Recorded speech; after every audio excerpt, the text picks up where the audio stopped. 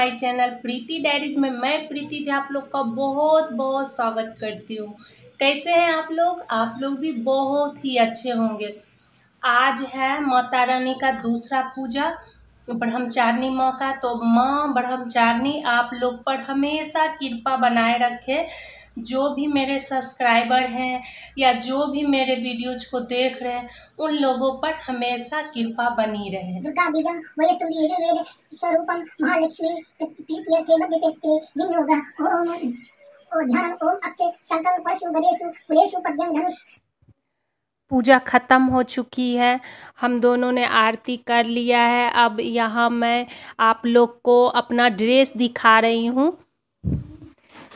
मुझे अभी साबूदाने की खीर बनानी है तो इसके लिए मैंने दूध को बॉईल कर लिया है। थोड़े से दूध मैंने अलग रख लिए, उसके बाद मैंने फिर से गैस पर दूध को चढ़ाकर अच्छे से बॉईल कर लिया। जब वो अच्छे से बॉईल हो गया, गैस को धीमी करके मैंने उसे अच्छे से उबाल लिया। उसके बाद साबूदाने को मैं धोकर उसमें डाल दूँगी। उसके बाद बराबर चम्मच से हिलाते रहना है। क्योंकि नीचे, अंदर तले में ये चिपक जाएँगे तो जल सकती है तो खीर जब जल जाता है तो अच्छा नहीं लगता, पूरा टेस्ट ही ख़राब जो हो जाता है। इसीलिए उसे बराबर चम्मच से चलाते हुए मैंने साबुदाने की खीर बना ली है। मेरा खीर बनकर रेडी जल्दी जल्दी आज सारे काम निपटाऊँगी क्योंकि मुझे आज स्पेशल काम करना है। अब खैर अब जो बर्तन मैंने धोकर रखे थे, उनको मैं बर्तन स्टैंड पर रख देती हूँ।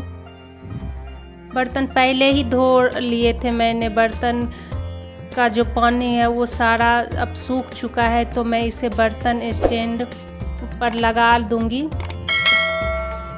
जितने भी सारे काम थे, वो सारे काम हो चुके हैं। जब किचन का सारा काम ख़त्म हो जाता है तो लगता है कि जैसे अब कोई कुछ काम है ही नहीं, बस थोड़े से ही कोई काम बचे।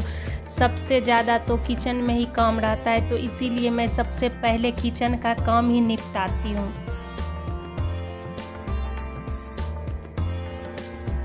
ये साड़ी पहले से रखा हुआ था, टप्पू का मुंडन चार महीने पहले ही हुआ था। उसी में मेरी बड़ी बहन ने मुझे ये साड़ी दी थी।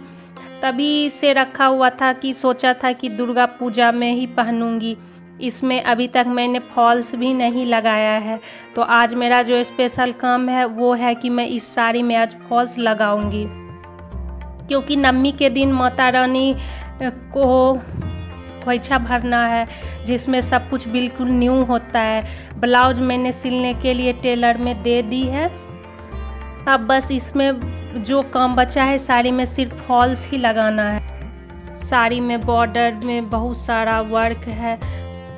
वर्क है, जिस साड़ी में वर्क नहीं रहता है, उसमें फॉल्स लगाना इजी होता साड़ी के एक तरफ़ मैंने फॉल्स लगा लिया है। अब मैं बना रही हूँ अपने लिए कप चाय और साथ में मखाने भी फ्राई कर रही हूँ। शाम के सात बज रहे हैं। मैं अभी सब्ज़ी बनाने की तैयारी कर रही हूँ। अभी तो बिना प्याज, लहसुन के ही सब्ज़ी बनते हैं तो मैं आज आलू का सब्ज़ी बना रही हूँ, जिसके लिए मैंने टमाटर काट लिए हैं और उसको मिक्सी के जार में रख लिया। उसके बाद काली मिर्च डालकर उसको पीस लिया है। मैं बर्त के खाने में लाल मिर्च यूज़ नहीं करती हूँ। एक पैन को चढ़ाया, उसमें मैंने जीरा डाला, आपको सूखे मसाले, लौंग, इलायची मैंने डाल दिया। उसके बाद जब वो तड़कने लगा तो मैंने वो पेस्ट जो टमाटर की बनाई थी वो डाल दिया। अब इसे अच्छे से चलाएँगे। धीमी गैस पर तब तक भुनना है जब तक कि टमाटर वाले मसाले से तेल ना छोड़ने लगे। तो यह देखिए मसाला भुनकर रेडी हो चुका है। तो मैंने सिर्फ़ उसमें हल्दी डाला और उबले हुए दो आलू डाल दिए और कुछ नहीं डालना है, सिर्फ़ नमक डालना है और उसके बाद एकदम कम मसाले वाली आपकी बर्त वाली सब्ज़ी बनकर रेडी हो जाएगी, आलू की सब्ज़ी जो कि पूरी के साथ खाई जाती है।